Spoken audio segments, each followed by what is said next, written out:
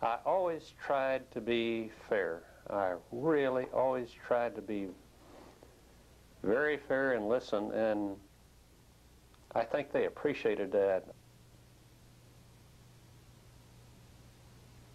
Well, I was, I was, of course, very flattered to be nominated for the Hall of Fame to begin with, and and you know a little bewildered that I was induct, uh, selected to go into the into it. But um, I think, like most people, you really.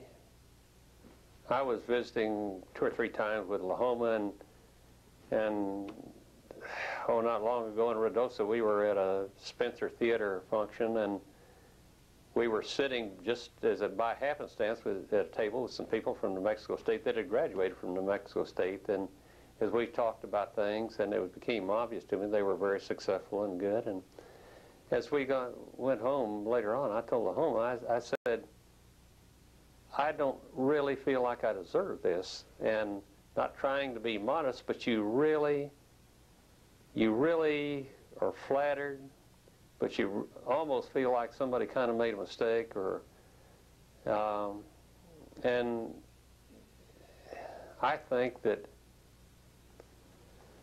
anyone that takes themselves very seriously or really thinks they're anything but pretty fortunate to have an honor like this, then, you know, they're, they've got something out of whack because, uh, you know, you, you can't take yourself very seriously for long. Being involved in politics was, uh, I, I spent one term on the city council and being involved and being mayor pro tem and and I found that again personally, my nature is non-confrontational, so I, I found that I would come out of city council meetings and, and my arms would ache, and, and I finally figured out what I was doing is I was sitting there doing isometrics just like this. and I'd look out there in that audience and and I'd say to myself, you know, there's not a soul out there that's here to tell us what a good job we're doing. They've all got some agenda, something they want, and it's going to be confrontational. And so after my first term, or the three years, I felt like uh, that I was probably not going to be as productive. I know that when I would, after I would, I always had a, we had two papers morning and evening, and after the council meetings in the morning, I'd always go home and read the evening paper to see what I said because what I thought I said and what was reported in the paper was very seldom the same thing.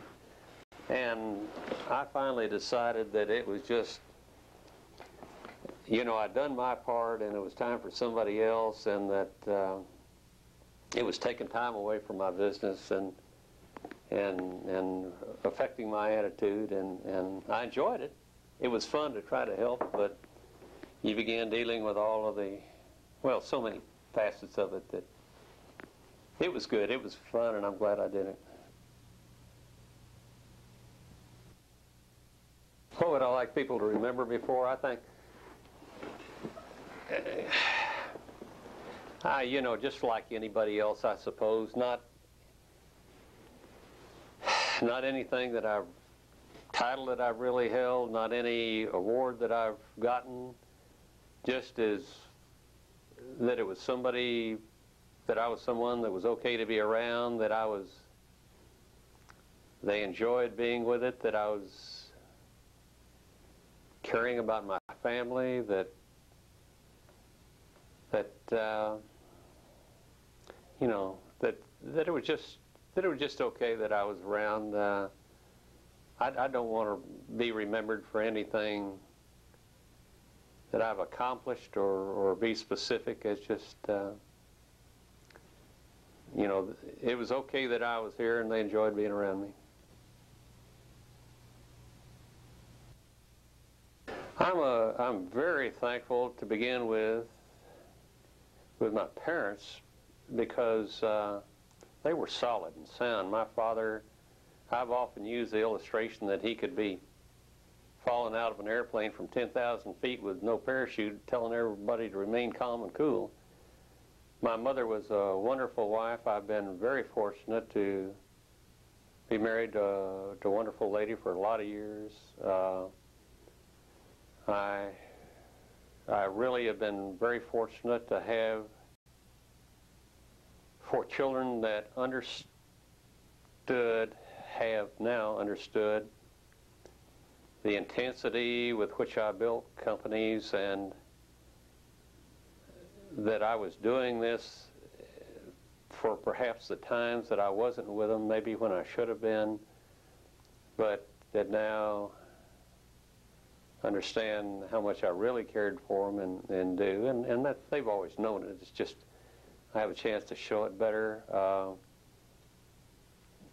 I, I'm grateful for all those things, and I'm grateful, very grateful, Tom, to a lot of older people now that were, when I was trying to get started, whether it was in high school or college or business, that for some reason would take the time to spend with me to help, to to try to say, Dick, this is really what you need to be looking at. This is what you need to be doing. And whether I listened to it or not at the time, I absorbed apparently a lot of it. And those people help. So I'm I'm really grateful to a lot of people that I really can't name all of that that uh, really can't be that specific about, but that really did influence my life, that took the time to influence my life. And of course, you know, as, as I said, my, you know, number one priority is my family that that uh, helped me, you know, through all of this.